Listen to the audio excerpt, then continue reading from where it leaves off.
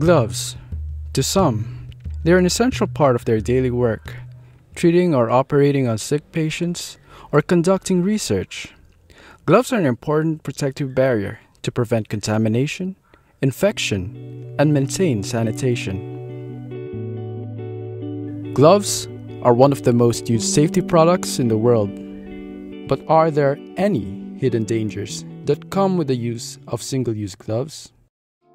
This is the lived reality for tens and thousands of laborers from Malaysia, Nepal, Bangladesh, and other Asian countries toiling in glove manufacturing plants to produce one of the healthcare sector's most essential items gloves. The pandemic caused a steep demand for personal protection equipment like gloves, and manufacturers encountered challenges in keeping up. Because of the high demand but low supply of gloves, issues within the glove supply chain have risen.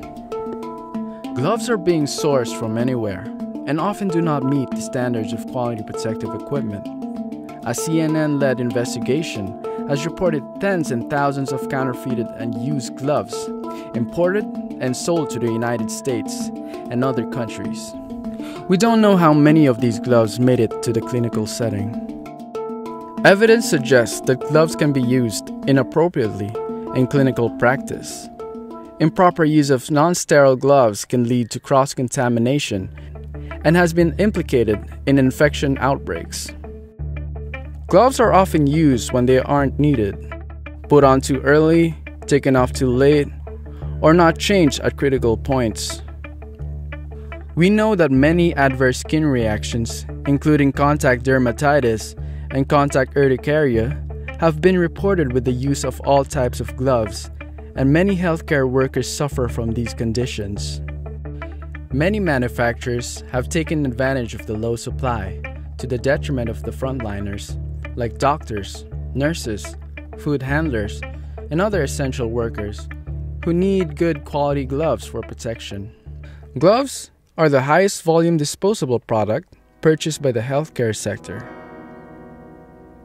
Since the pandemic, the production of medical waste has dramatically increased. Issues on proper waste handling, treatment, and disposal have risen. According to the Department of Environment and Natural Resources, the Philippines has generated about 19,000 tons of medical waste from April to June 2020 alone.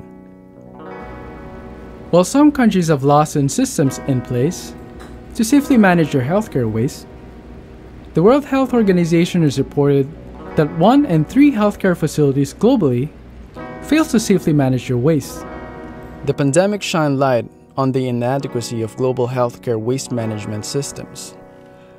There is evident lack in capacity of waste treatment and disposal facilities to keep up with the surge of waste being produced in times of great emergency and disaster. This is when we are all needed the most. The Sustainable Procurement Index for Health is a globally recognized measurement tool for policymakers, manufacturers, suppliers, and healthcare facilities and users to improve their environmental and social sustainability record. Healthcare without harm also offers a criteria for suppliers and manufacturers to ensure sustainable procurement of gloves and mitigate potential harm to our planet and its people. This is about us. This is about you. And this is about our planet. Gloves have a long lasting effect not just to the people's health, but to the environment as well.